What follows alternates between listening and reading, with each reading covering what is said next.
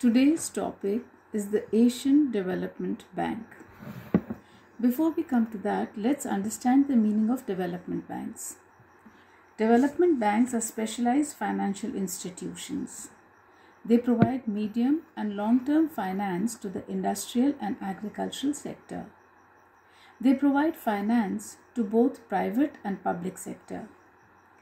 Development banks are multi purpose financial institutions. Now let's understand what are the different types of development banks. The regional development banks, the African Development Bank, the Asian Development Bank, the European Investment Bank, the Inter American Development Bank, the North American Development Bank, and the World Bank. Coming to the Asian Development Bank, it was founded in the year 1966. The Asian Development Bank's headquarters are in Manila, Philippines. The Asian Development Bank's primary mission is to foster growth and cooperation among countries in the Asia Pacific region. It has been responsible for a number of major projects in the region and raises capital through the international bond markets.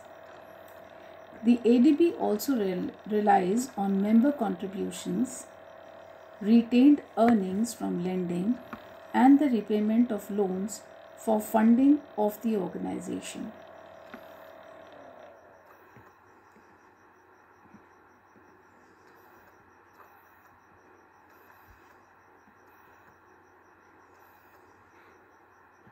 The ADB is an alliance of currently 67 countries from almost all regions worldwide.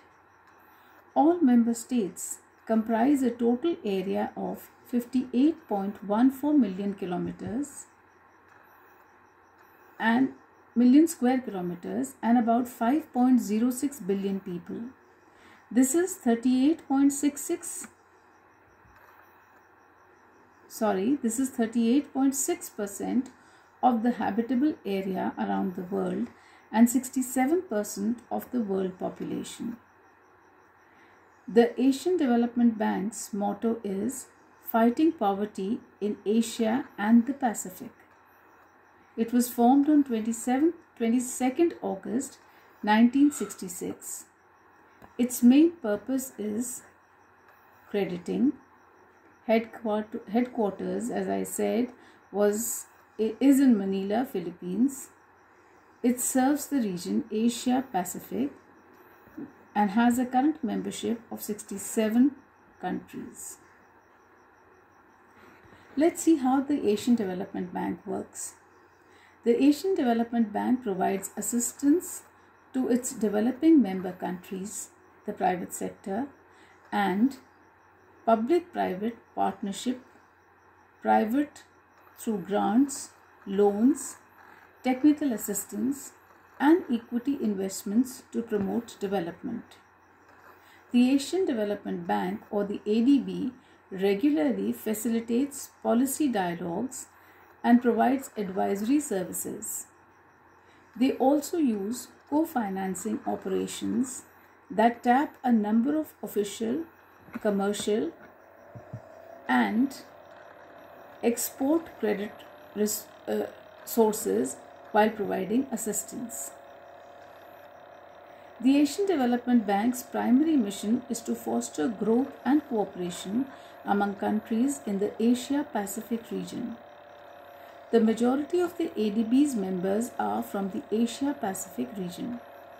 The ADB provides assistance to its developing member countries, the private sector, and public private partnerships through grants, loans, technical assistance, and equity investments to promote development.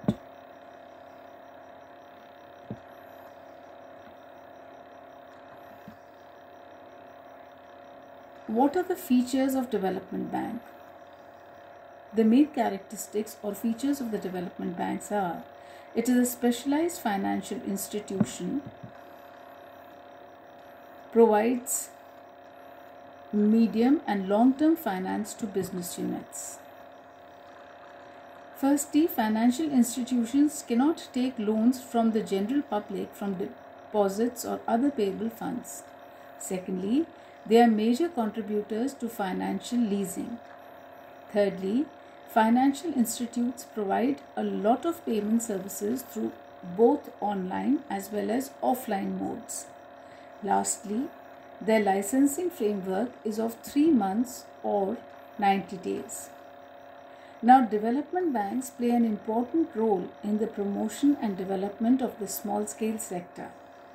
It also refinances banks and financial institutions that provide seed capital, equipment finance, etc.